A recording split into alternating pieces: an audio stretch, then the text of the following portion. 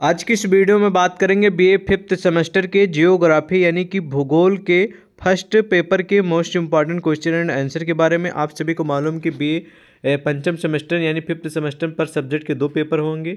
और आज की इस वीडियो में बात करेंगे भूगोल के फ़र्स्ट पेपर से जुड़े क्वेश्चन एंड आंसर के बारे में। तो वीडियो को एंड तक ज़रूर देखते रहिएगा। सारे क्वेश्चन आप सभी के एग्ज़ाम के नज़रिए से तैयार किए गए हैं।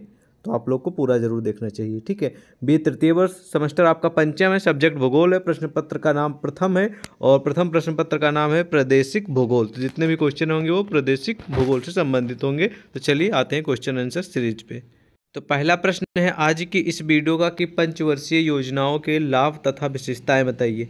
मतलब जो पंचवर्षीय योजना होती है, ठीक है? उससे क्या बेनिफिट्स हैं और उससे क्या फीचर्स हैं, उसके बारे में बताइए। तो पंचवर्षीय योजना आप सभी जानते हैं कि वो चाहे मुख्यमंत्री का चुनाव हो, चाहे वो आपका ग्राम प्रधान का चुनाव हो, चाहे वो नगर निकाय का चुनाव हो, सब में मतलब कि पंचवर्षीय आती कि पाँच साल के लिए ही एक उम्मीदवार सिलेक्ट किया जाता है।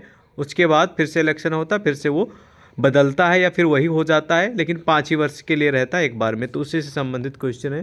तो लिखा है कि नंबर एक पे है, ध्यान सुनेंगे कि पंचवर्षीय योजना को उन्नीस सॉरी नौ जुलाई उन्नीस को भारत के पहले प्रधानमंत्री पंडित जवाहरलाल नेहरू द्वारा प्रस्तुत किया गया था। इस बात को ध्यान रखेंगे। जो पंचवर्षीय योजना आज चल रही आप सभी जानते हैं। इसकी जो शुरुआत है, वो 9 जुलाई उन्नीस इक्यावन से शुरू हुई थी और इसको शुरू करने वाले भारत के ही प्रधानमंत्री, प्रथम प्रधानमंत्री पंडित जवाहरलाल नेहरू ही थे। ठीक है, इस बात को ध्यान रखेंगे। अगला यहाँ पर पॉइंट है कि इन पंचवर्षीय योजनाओं के संचालन के लिए 15 मार्च 1950 को भारतीय योजना आयोग का गठन किया गया था। मतलब कि इसका शुरुआत जो गठन है वो 15 मार्च को आ, किया गया था 1950 को। उसके बाद जो स्टार्टिंग हुई है वो उन्नीस सौ इक्यावन से हुई है और नौ जुलाई से। इस बात को ध्यान रखेंगे काफ़ी हेल्पफुल पॉइंट है। अगला पॉइंट है इसमें कहा कि पंचवर्षीय योजना के अंतर्गत कुछ योजनाओं को पाँच वर्ष तक चलाया जाता है जिससे कि देश का विकास हो सके और फिर अगले पाँच वर्ष के लिए नई योजनाएँ बनाई जाती तो वही मैंने आपको बताया पाँच वर्ष के लिए एक उम्मीदवार या फिर कोई योजना चलाई जाती है, फिर अगर दूसरा कोई शासन आता, दूसरा कोई सरकार आती है तो अपने अनुसार से योजनाएँ, अपने अनुसार से प्रगति के लिए देश के और अपने जनता के विकास के लिए वो अपने हिसाब से योजनाएँ बनाता है, ठीक है? ओके, नेक्स्ट, इसी में का पॉइंट है कि पंचवर्षीय योजना के माध्यम से निवेश को बढ़ाया जाता है, ये भी एक मुख्य विशेषता है। इन योजनाओं के माध्यम से यानी पंचवर्षीय योजनाओं के माध्यम से सामाजिक न्याय, गरीबी हटाना, पूर्ण रोज़गार, आधुनिकीकरण आदि की तरफ़ भी ध्यान दिया जाता है। मतलब उसी पंचवर्षीय योजना होती हैं जो पंचवर्षीय यानी पाँच साल के अंदर। उसमें कुछ ऐसी व्यवस्थाएँ की जाती है जो समाज के लिए न्यायिक हों, जो भाई न्याय करेगा उसको न्याय मिलेगा, जो न्याय नहीं करेगा उसको न्याय नहीं मिलेगा। गरीबी जो लोग हैं, उसको हटाना, अगर मान लीजिए किसी के पास मकान नहीं तो मकान की सुविधा, किसी के पेंशन नहीं तो पेंशन की सुविधा प्रोवाइड करना, कोई बेरोजगार है तो उसको रोज़गार की सुविधा देना तो ये सब चीज़ें होती हैं, ठीक है? तो इसी तरह इसमें बहुत सारी लाभ और विशेषताएँ प्रस्तुत है, जो कि आपको तैयार कर लेना है एग्ज़ाम के नज़रिए से टॉप लेवल का क्वेश्चन है, ठीक है? चलिए नेक्स्ट क्वेश्चन पे आते हैं।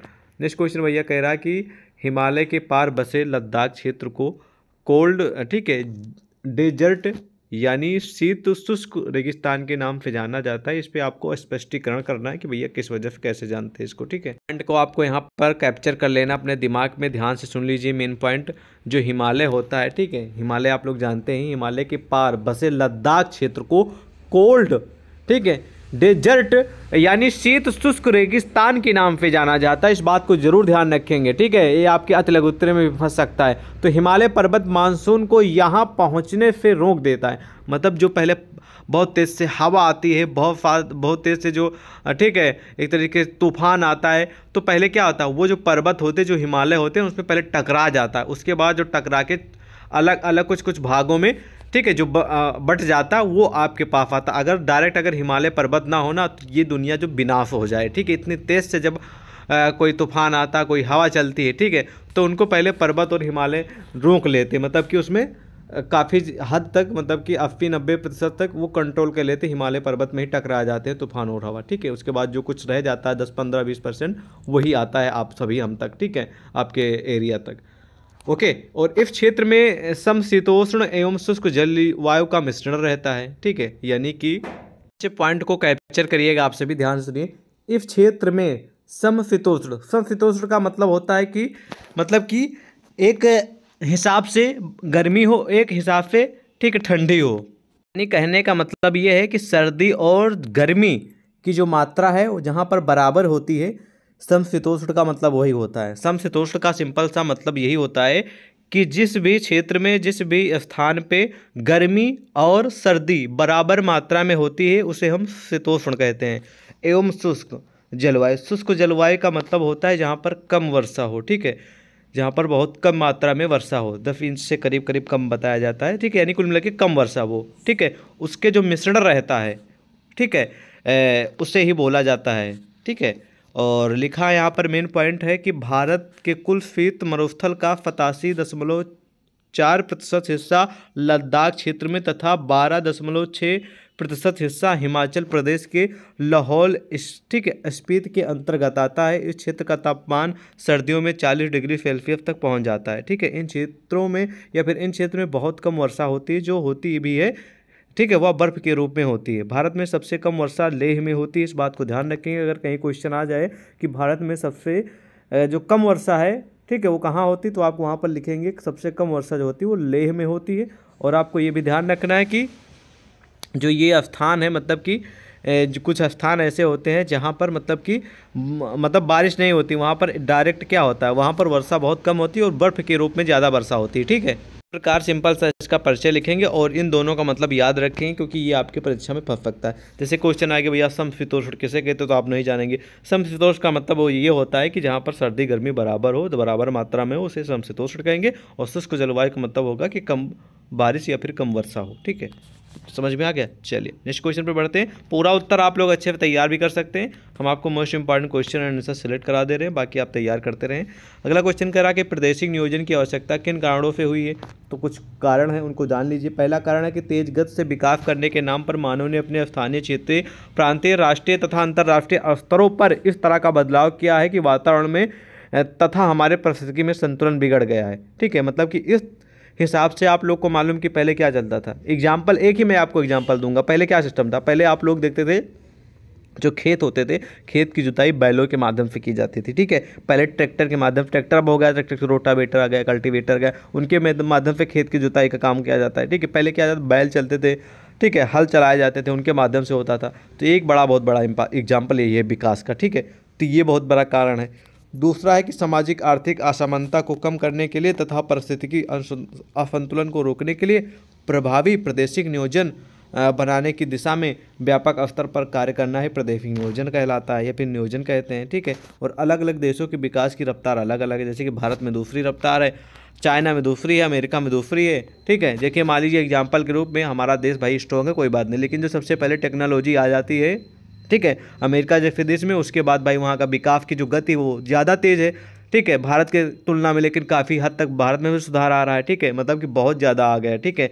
ये सभी देशों से समय टक्कर ले रहा अपना देश, ठीक है? तो आप लोग समझ सकते हैं कि भाई सभी देश का जो विकास है, वो स्तर अलग अलग होता है। चाहे देश की बात हो, चाहे आपके पर्सनल, किसी फैमिली की, आपके परिवार की, या फिर आपके समाज की किसी की बात हो, आपके दोस्त की बात हो, आपकी मान लीजिए कि, आपके दोस्त के घर में चार, ठीक है? चार मतलब कि चार पहिए वाली गाड़ी मतलब फोर व्हीलर है टू व्हीलर हो आपके घर में पता चले कि साइकिल भी नहीं है, ठीक है? तो ये वाला हाथ। हो सकता है कि कल के आपके अंदर और भी नौकरी लग जाए, आपकी कहीं लॉटरी लग जाए तो आपके पास दो दो फोर व्हीलर और दो दो तीन तीन आपके पास बाइक हो जाए। ठीक है तो ये जो रफ्तार है, जो विकास का, वो अलग अलग देशों में अलग अलग होता है, समान नहीं रहता, इस बात को ध्यान रखेंगे, ठीक है? ओके अगला क्वेश्चन भी मोस्ट इंपॉर्टेंट है, जो कि मैंने ऊपर बता ही चुके हैं आप सभी को कि पंचवर्षीय योजना को शुरू करने का मुख्य उद्देश्य क्या था, ये आपको बताना है, ठीक है? तो पंचवर्षीय योजना देश के विकास के लिए आरंभ की गई थी। फाइव ईयर्स प्लान्स का मुख्य उद्देश्य विकास की दर को बढ़ाना। इन पंचवर्षीय योजना के माध्यम से निवेश को भी बढ़ाया जाता है। इसी के साथ सामाजिक न्याय, गरीबी हटाना, पूर्ण रोज़गार, आधुनिकीकरण आदि की तरफ़ फाइव ईयर प्लान्स में ध्यान दिया जाता है। अब तक हमारे देश में तेरह पंचवर्षीय योजना चलाई जा चुकी है, जिसके माध्यम से सरकार द्वारा कोई ना कोई उद्देश्य तय किया जाता है और फिर उस उद्देश्य पर काम किया जाता है और इन पंचवर्षीय योजनाओं के माध्यम से देश की आर्थिक स्थिति में बहुत सुधार है मतलब कि पहले तो एक प्लान की जाए। भाई, पाँच वर्ष का जब गवर्नमेंट कोई बनती है, सरकार बनती है तो उसमें कोई कोई ना कोई भाई योजना चलाई जाती है ठीक है? और उसी योजना को पूर्ण करने के लिए पूरा पाँच साल में कार्यरत रहता है ठीक है? एक तरीके से कह सकते हैं कंडीशन रहती है ठीक है? कि पाँच साल में हमें ये वाला योजना लॉन्च करें इसको पूरी तरह ठीक है? पूरी करके लोगों को लाभ प्राप्त कराएँ ठीक है? तो ये मेन उद्देश्य होता है एक तरीके से कंडीशन। कंडीशन है तभी कभी को, कोई काम हो पाएगा वो चाहे कि किसी भी क्षेत्र में हो ठीक है? इस बात को ध्यान रखेंगे। और पंचवर्षीय योजना के इतिहास पर टिप्पणी लिखी है, जो कि मैंने ऊपर जो बताया, उस पर उसी में से सारे दोनों क्वेश्चन कुल मिला के पंचवर्षीय योजना गारंटी वाला क्वेश्चन आएगा ज़रूर। और सेम टू सेम ऊपर वाला अगर आपने क्वेश्चन आंसर पढ़ लिया है तो ये दोनों क्वेश्चन उसी से सिमिलर है, आपको पूरा समझ में आ जाएगा, ठीक है? अगला प्रश्न भैया कि केंद्र शासित प्रदेश लद्दाख में खनिज संसाधन सीमित मात्रा में उपलब्ध है, स्पष्ट कीजिए, ठीक है? चलिए इसके बारे में जान लेते हैं, ठीक है? जो एक लद्दाख है, इससे जुड़ा क्वेश्चन आएगा ही आएगा, इस बात को ध्यान रखेंगे आप सभी ओके इसका उत्तर लिखेंगे कि खनिज संसाधन केंद्र शासित प्रदेश लद्दाख में खनिज संसाधन सीमित मात्रा में उपलब्ध है। ठीक है? पूगा घाटी में बैरेक्स, सुहागा एवं बंधक के विशाल भंडार पाए जाते हैं। लेह में कारगिल दोनों में अच्छी गुणवत्ता व संगमरमर एवं सीमेंट ग्रेड का चूना पत्थर पाया जाता है। लद्दाख के बर्फीले क्षेत्र में यूरेनियम की खोज की पुष्टि हुई है। उत्तरी लद्दाख मुद्रा सियोग घाटी में स्थित एक छोटा सा गाँव उद, ठीक है, उद्र भारू है। यहाँ खुदाई में उच्च सांद्रता वाले यूरेनियम एवं, ठीक है, थोरियम के भंडार मिले। यहाँ आशा की जा रही है कि संघ शासित क्षेत्र के रूप में स्थापित होने के पश्चात यहाँ अवसंरचना विकास में तीव्रता आई और संसाधनों का उचित संदोहन संभव हो सका। मतलब कि डेली डेली इसका डेवलपमेंट यानी विकास हुआ है, ठीक है। धीरे धीरे मतलब खोज हुई और यहाँ पर ये प्रोडक्ट पाया गया, जैसे सीमेंट है संगमरमर है, इन सभी की जो चूना है, ये सब पाया जाने लगा, ठीक है। महत्वपूर्ण प्रश्न है। कुल मिला के लद्दाख से जुड़ा क्वेश्चन फंसेगा, वो कोई भी आ सकता है, आप तैयार कर लीजिएगा, ठीक है? स्वतंत्रता भारत में नियोजन, ठीक है? स्वतंत्र भारत में नियोजन, ठीक है? ये भी महत्वपूर्ण प्रश्न है कभी कभी आ जाता है तो आप तैयार कर सकते हैं। ये वाला ज़रूर ध्यान करके तैयार करके जाएँ, क्योंकि ये महत्वपूर्ण आर्थिक से संबंधित क्वेश्चन है कि आर्थिक विकास के मापक के रूप में क्रय शक्ति समता विद पर टिप्पणी लिखेंगे। ठीक है, ये तैयार कर लीजिएगा, महत्वपूर्ण है। प्रादेशिक नियोजन के लिए किस प्रकार की आर्थिक नीति को सुनिश्चित किया जा सकता है? स्पष्ट कीजिए, ये टॉप लेवल का क्वेश्चन इस पर ज़रूर हम डिस्कशन करेंगे। इसका उत्तर लिखेंगे कि अधिकतर मतलब ज़्यादातर विकासशील देशों में यह संभव है कि भूख और अकाल से निवारण के लिए जितनी अनाज की आवश्यकता बाज़ार कीमतों के आधार पर किसान उससे कम उत्पादन करे। बाज़ार प्रणाली की इस विकृतियों की संभावनाओं को देखते हुए ऐसा लगता है कि शायद इस प्रणाली से वंचित परिणाम न प्राप्त हों। कहने का मतलब ये है, सामान है जो बाज़ार की कीमत है, ठीक है? उसके हिसाब से जो मतलब कि कोई भी मार्केट में सामान है, कोई भी चीज़ है, उसकी कीमत यानी कि जो प्राइस है, ठीक है? उस कीमत के आधार पे जो किसान होते हैं, जो उत्पादन करते हैं, उत्पादन करने के बाद जो लोग बाज़ार में बेचते हैं, ठीक है? उससे उत्पादन मतलब कि उससे कम उत्पादन करें मतलब कि जिस हिसाब से कीमतें हैं, उस हिसाब से उत्पादन की जो मतलब कोई चीज़, मान लीजिए महँगी है, ठीक है तो उसका उत्पादन कम करें, ये बताया जा रहा है। ठीक है? हालाँकि ये होना नहीं चाहिए, फ़िलहाल जो है, वो मैं आपको एक्सप्लेन कर रहा हूँ, ठीक है? तभी मान लीजिए कि इसमें क्या है, भाई, महँगाई बढ़ेगी तभी तो मतलब कि ज़्यादा डिमांड बढ़ेगी तो भाई उसका महँगे रेट में बिकेगा, ठीक, कोई चीज़। बाज़ार, ठीक है, बाज़ार प्रणाली की इन विकृतियों की संभावनाओं को देखते हुए ऐसा लगता है कि शायद इस प्रणाली से वांछित परिणाम ना प्राप्त हों, ठीक है, वही बताया जा रहा है। तो आप लोग पूरा का पूरा उत्तर तैयार कर लेंगे, काफ़ी हेल्पफुल क्वेश्चन साबित हो सकता है एग्ज़ाम के लिए, ठीक है। अस्थानीय संसाधन के बारे में, ठीक है तो स्थानीय संसाधन समस्याओं के हल खोजने, ठीक है, हल खोजने और साथ ही विकास के उद्देश्य के लिए हमें स्थानीय संसाधनों के बारे में जानकारी होनी चाहिए। सामान्यतः भूमि, मृदा, जल, वन, पशु, अन्य जीव, खनिज इत्यादि किसी एक क्षेत्र में प्राकृतिक संसाधन होते हैं। इसी तरह से मानव उनका शैक्षणिक स्तर, मानवीय अनुक्रियाएँ, ठीक है, कौशल, स्वास्थ्य, दर्जा इत्यादि मानवीय संसाधनों में आते हैं, ठीक है। तो मानवीय संसाधन का मतलब यही होता है कि जो मानव के जो दैनिक जीवन में यूज़ होने वाली चीज़ें या फिर जो उसके मानव के लिए जो ज़रूरी हैं, वो चीज़ें, ठीक है। स्थानीय संसाधन तो स्थानीय संसाधन में आपको बता ही दिया कि आपका स्किल्स आ जाएगा, आपका सौर, ठीक है, स्वास्थ्य आ जाएगा ठीक है, शैक्षणिक स्तर यानी एजुकेशन भी आ जाएगा, ठीक है तो इत्यादि जो है मानवीय संसाधन में आते हैं, ठीक है, जो कि मानव द्वारा ये प्रस्तुत किए जाते हैं, ठीक है। बाकी कुछ चीज़ें जो होती है, जो स्थानीय होती है, देखिए स्थानीय का मतलब होगा जब भूमि होगी तो भाई भूमि एक ही स्थान पर तो रहेगी ना, मृदा भी एक स्थान पर रहेगा, जल भी स्थानीय तो रहेगा ना, चाहे वो जो स्थान हो, ठीक है। वन, पशु, ठीक है, अन्य जीव, खनिज इत्यादि आते हैं, ठीक है, ये सब प्रकार, ठीक है, प्राकृतिक संसाधन होते हैं, ठीक है। भूमि, मृदा, जल, वन, पशु, ठीक है, ओके।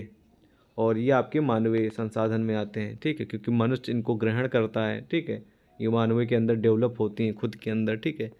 चलिए, नेक्स्ट क्वेश्चन है कि मृडल मॉडल क्या है? ये इतना महत्वपूर्ण है, आप पढ़ भी सकते हैं इग्नोर भी कर सकते हैं। बाकी आपके ऊपर है।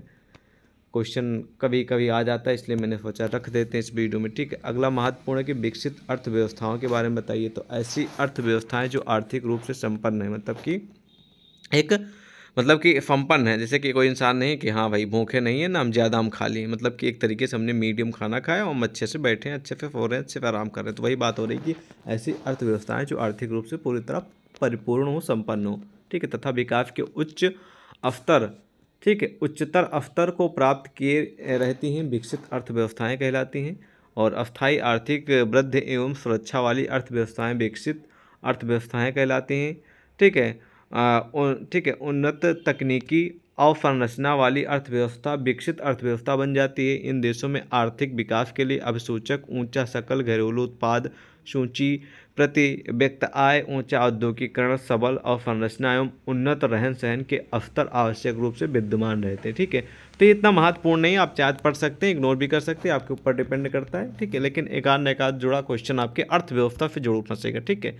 ओके चलिए नेक्स्ट क्वेश्चन में पढ़ते हैं। लिखा क्वेश्चन ये है कि भैया अन्य विकसित अर्थव्यवस्थाएँ, ठीक है? काफ़ी, कई मतलब कि हमेशा नहीं आता, कभी कदार आता तो आप पढ़ भी सकते इग्नोर भी कर सकते मृदा संपादन इसको ज़रूर फोकस करेंगे। ये महत्वपूर्ण टॉप लेवल का क्वेश्चन है कि मृदा मानव की विभिन्न गतिविधियों, जैसे कि कृषि, पशुपालन और बागवानी इत्यादि के लिए आधार मतलब कि जो मिट्टी होती है, भैया कृषि करेंगे तब भी उसमें पशुपालन करेंगे तो उसमें भी कोई बाग लगाएँगे, उसमें भी, ठीक है? तो उपजाऊ मृदा मानव सभ्यता और विकास के लिए हमेशा से आकर्षण का स्रोत रही है तथापि प्रकृति का यह दुर्लभ उपहार अधिक मृदा अपर्दन का निम्नीकरण द्वारा जोखिम में पड़ गया है और तेज़ी से बंजर भूमि में बदल रहा है। बड़े पैमाने पर वन ठीक है, नाफन और भूमि के वाणिज्यिक उपयोगों के मृदा के ढांचे में असंतुलन उत्पन्न कर दिया है, क्योंकि मृदा के निर्माण, उसकी नवीनीकरण योग्यता और पुनः स्थापना को काफ़ी लंबा समय चाहिए। इसलिए मृदा संरक्षण और उनकी प्राकृतिक उर्वरा शक्ति बनाए रखने की अत्यंत आवश्यकता है। आवश्यकता है। ठीक है कहने का मतलब ये है कि जो आज की जो ज़मीन है लोगों के द्वारा मतलब कि वो बंजर कर दी जा रही है क्योंकि उस पर कुछ उगा नहीं रहे उस पर सींच नहीं रहे मतलब उसमें पानी नहीं लगा रहे हैं ठीक है? और उसमें कुछ ठीक है एक तरीके से अच्छी चीज़ का यूज़ नहीं कर रहे हैं तो भाई भूमि तो बंजर हो ही जाएगी। जैसे कि मान लीजिए कि वहाँ पर आप आ, ना तो कभी पानी वहाँ पर जा रहा है ठीक है? ना तो वहाँ पर कभी आप लोग कुछ सब्ज़ी उगा रहे हैं, ना फिर कोई आप फ़सल उगा रहे हैं, कुछ भी नहीं कर रहे हैं तो धीरे धीरे भूमि क्या हो जाएगी बंजर में हो जाएगी भैया। और धीरे धीरे आप लोग को सुन, सुना है कि भाई आप लोग जानते भी कि जो वन है ना, वन का विनाश हो रहा है धीरे धीरे मतलब कि लोग जो पेड़ पौधे उनको काटना प्रारंभ कर दें, ठीक है? इससे भी एक बहुत बड़ी समस्या सामने आ सकती है, ठीक है? तो ये सब चीज़ें जो है, वो दिन प्रतिदिन बढ़ती जा रही हैं, इसीलिए समस्याएँ, मृदा प्रॉब्लम जो मृदा ठीक है संसाधन की प्रॉब्लम है, ठीक है? और बहुत सारी जो समस्याएँ हैं, वो आपको आए दिन देखने को मिल रही और आए दिन आपको और बढ़ती हुई देखने को मिलेंगी क्योंकि ये जो आपका मतलब कि प्राकृतिक है और जो आपका जो जीवन है इंसान का, वो कहीं ना कहीं एक दूसरे से मेल नहीं खा पा रहे हैं, ठीक है? भाई प्राकृतिक का नेचर ऐसा होना चाहिए, भाई हरियाली होनी चाहिए, पेड़ों को ठीक है, सिंचित होने चाहिए, पेड़ भरे भरे होने चाहिए और उनको लगाने चाहिए, लोगों को और फिर ज़्यादा उनकी कटाई नहीं करनी चाहिए, ठीक है? ओके? लेकिन ऐसा हो रहा है आपने देख रहा है। अब तो देखते हैं कि ए, अब पेड़ों की अंधाधुंध कटाई हो रही हो साथ साथ में इतने ज़्यादा खेतों में या फिर जो भी स्थान जहाँ पर फ़सल उगाई जाती है वहाँ पर इतने ज़्यादा प्रोडक्ट का इतने ज़्यादा खाद का इतने ज़्यादा दवाइयों का प्रयोग किया जाता है तो उसकी वजह से क्या होती है? मिट्टी को नुकसान ही होता है ना? पहले की तरह क्या पहले जो भैंस वैंस थी ना उनके जो मतलब कि जो गोबर निकलता था उसका यूज़ किया जाता था। लेकिन आज आप लोगों को मालूम है कितनी प्रकार की दवाइयाँ जो कि अलग अलग बहुत तगड़े तगड़े चीज़ों से मतलब मटेरियल से बनाई जाती है, जो कि भूमि को, मृदा को पूरी तरह दूषित भी कर रही हैं, ठीक है? तो ये काफ़ी हेल्पफुल क्वेश्चन है, आएगा ज़रूर। जल संसाधन मृदा संसाधन ये टॉप लेवल का क्वेश्चन जो कि आपको तैयार करके ही करके जाना है, ठीक है? संतुलित क्षेत्रीय विकास, ये भी काफ़ी हेल्पफुल क्वेश्चन है, ठीक है? फ्रेडमैन का केंद्र ठीक है, परिधि मॉडल ये इतना महत्वपूर्ण नहीं कभी कदार आता तो आप इसे इग्नोर कर सकते हैं। लैंगिक समानता इसको ज़रूर टॉप लेवल में साचित शामिल करेंगे, क्योंकि ये कई बार रिपीटेड क्वेश्चन है। मानव विकास सूचकांक, ये भी कभी कदार आने वाला क्वेश्चन इसको इग्नोर कर सकते हैं। विकास का अर्थ एवं परिभाषा टॉप लेवल का क्वेश्चन विकास से संबंधित एक दो प्रश्न आपके परीक्षा हम ज़रूर देखने को मिलेंगे। गारंटी वाले क्वेश्चन है, ठीक है? इसको प्रिपेयर करके जाएँगे, ठीक है? क्वेश्चन आंसर आप लोगों के समझ दोनों प्रस्तुत कर दिया है। मैं आपको हर वीडियो में बता रहा हूँ कि हमारे पास थोड़ा बहुत समय मिलता आता है। आप सभी को एक्सप्लेन करने के लिए बाकी ज़्यादा समय नहीं रहता, क्योंकि आप सभी को मालूम लगातार परीक्षाएँ चल रही हैं। आप सभी के एग्ज़ाम के लिए क्वेश्चन तैयार करना, उत्तर तैयार करना, वो बहुत ही हार्ड होता है, लेकिन आप लोग नहीं समझते, बहुत सारे छात्र तक कहेंगे कि कुछ भी बोल देते हैं कि आप फालतू की वीडियो बना रहे, कुछ या नहीं ऐसा नहीं, वैसा नहीं है, ये है, वो है, बहुत सारे अलग अलग आप लोग अपना रीजन शो करते लेकिन हम फिर भी सभी चीज़ों को इग्नोर करके आपके एग्ज़ाम के हिसाब पे आपके लिए क्वेश्चन आंसर मोस्ट इंपॉर्टेंट तैयार करते हैं, जो पिछले सालों में पूछे गए हैं और इस बार जो पूछे जाने की संभावना है। लेकिन हम अपना काम कर रहे हैं और कुछ छात्र तो भाई अच्छे हैं, वो तो कहेंगे कि, सर हाँ भाई, आप अच्छा काम कर रहे हैं और हमें क्वेश्चन बता रहे हैं, वो हमारे क्वेश्चन परीक्षा में फंस रहे हैं। और ज़्यादातर परीक्षाओं मेरे द्वारा बताए गए प्रश्न फंस ही रहे हैं, आप सभी देख ही रहे हैं। तो काफ़ी छात्र अच्छे हैं, कुछ छात्र हैं, लेकिन उनकी मैंटालिटी तो हम सुधार नहीं सकते क्योंकि हम तो इतने बड़े मोटिवेशनल स्पीकर तो हैं नहीं, ठीक है? महेश्वरी की तरह, संदीप महेश्वरी सर की तरह कि हम आपका जो थिंक है वो एकदम से चेंज कर देंगे, ठीक है? लेकिन जैसे भी आप लोग मस्त रहिए और एग्ज़ाम की तैयारी करिए बस। विकास ध्रुव में से क्वेश्चन आएगा, चाहे विकास ध्रुव का सिद्धांत आए, चाहे विकास ध्रुव के बारे में आए, इस बात को ध्यान रखेंगे, ठीक है? विकास ध्रुव के सिद्धांत की मान्यताएँ, इनमें से कोई एक प्रश्न फंस जाएगा, ठीक है? खंडीय संतुलन ये भी कभी कदार आ जाता है, इसको भी तैयार कर सकते हैं। स्थानीय क्षेत्र नियोजन ये भी कभी कदार आ जाता है, ठीक है? और स्थानीय क्षेत्र की विशेषताएँ ये महत्वपूर्ण है। स्थानीय क्षेत्र से जुड़ा क्वेश्चन फंस जाएगा, ठीक है? नियोजन के स्तर ये इतना महत्वपूर्ण है, आप चाहे पढ़ भी सकते हैं इग्नोर भी कर सकते हैं, बेशक, ठीक है? ओके तो इस प्रकार आपकी परीक्षा में कुछ प्रश्न देखने को मिलेंगे।